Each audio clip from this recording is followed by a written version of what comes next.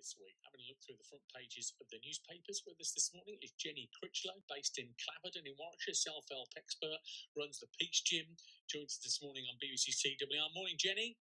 Morning, Phil. How are you? Yeah, I'm really good. Thanks very much indeed. How's your weekend? Yeah, really good. Thank you. Really Yeah. nice. What'd you get up to? Yeah. Anything? No, nothing. That's why it's really nice. yeah, uh, we like weekends like that, uh, Oh, don't yeah. we? A lot of uh, attention for uh, Strictly in the newspapers uh, this morning. Nine million of us tuned in for the return of Strictly Come uh, Strictly Come Dancing on the telly uh, and the Glitter Ball, uh, and apparently that's the biggest show launch audience since 2017. I don't know. Do, has that caught your attention at all? Oh, you know what, Phil? I don't watch it. Don't you? I'm, not, I'm just. I'm. I, may, may- I'm, a, I'm a maverick. I'm I'm not one of the Are nine you? million. I'm a maverick. Ah, okay. Don't know whether that's Straight straight away, I've gone Top Gun there. So uh, there we go. All right. Uh, you have um, uh, gone to a story in the Guardian though here, which is um, uh, uh, talks a bit about um, w- well, white collar uh, workers, office workers, professionals, if you like, who've uh, who have developed uh, addictions during this pandemic. Yeah, I'm not even addicted to Strictly at all. It, actually, was a really interesting article about this collision of two epidemics, which is COVID and then the stuff we're using to cope with it. So perhaps it's better, and perhaps I should get into Strictly actually, Phil, um, is that perhaps it's better to watch Strictly than taking drugs, but really that there's this rise in relapse and rise in addiction because of COVID, and it's really a, a, a symptom of what we're all doing, which is numbing ourselves from stuff we don't enjoy. Right. Um, and again, you know, like watching the TV would be much better than taking the drugs. Uh, but it's bringing out the best and worst in us, this, um, this COVID Well, and uh, all that's going on. we you know, and we we've made big play here on BBC CWR via our, our Make a Difference campaign to hear about the good and Mm. all the, the the wonderful actions and the the kind, human spirited Yeah. stuff that people you know all across Coventry and Warwickshire have done in the last six uh, eight months or so. But uh, then you hear a story like this and you you wonder. I mean, you know, th- th- I think it was Ruby Wax said last week that the other pandemic will be that of mental health that will come out Yeah. of this. Yeah, without wi- absolutely without a doubt. There's lots of things we can do. It's just that it, we're, we're late to the party in how responsible for our own mental health we are. That we've got to show up for it and do the stuff that makes us happy, not do the stuff that numbs us. And the stuff that numbs us is easy. It's Yeah. much easier in many ways. Yeah. Move on to a story you picked in the Independent, uh, and this uh, is to do with uh, well, uh, new parents and new parenting. Uh, so just tell us a bit about why you picked this.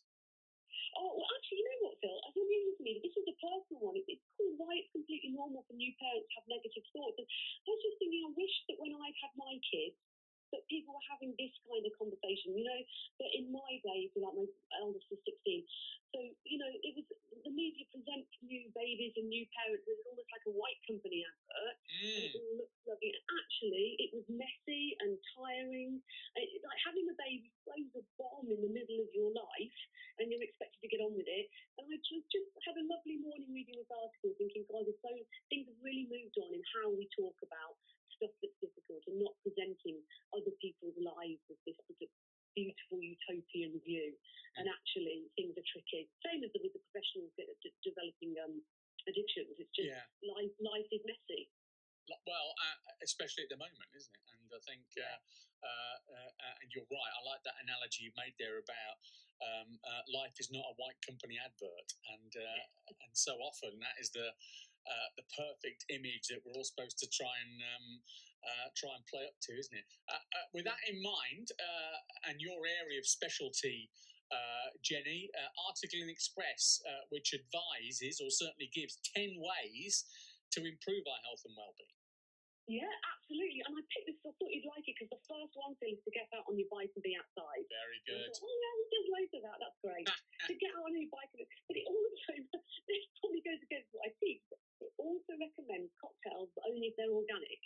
So I'm sort of wondering if Really? some kind of well, I don't know if this is made maybe a paid article or something, but it was like the future is in organic cocktails. It's like finally a list I can get on board with.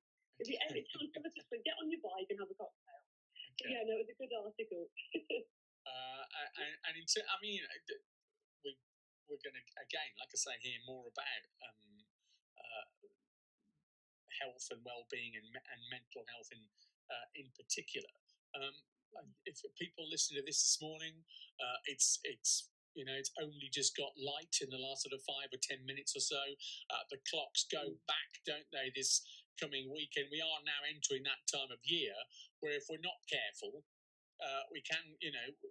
it- It's trying to find little bits of solace. It's why I mentioned Strictly this morning because it brought glitter, it brought glamour back into our lives, and it, and it added to a bit of escapism, uh, didn't it? This morning, uh, anything you would pass on to our audience this morning, given what you do there as a self-help expert, that might help improve your uh, health and well-being? Yeah, oh, absolutely. And really, it's it's my message all along is that, and it's not a popular one. Is that it is our responsibility, and it's why I, I liken mental health, well-being, mm.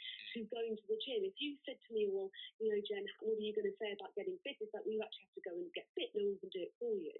And the well-being stuff, it's exactly the same thing. Is that if we, we you can take a meditation course, you can go and do lots of different things that you learn, lots of skills, but actually we are the ones that have to put it in place.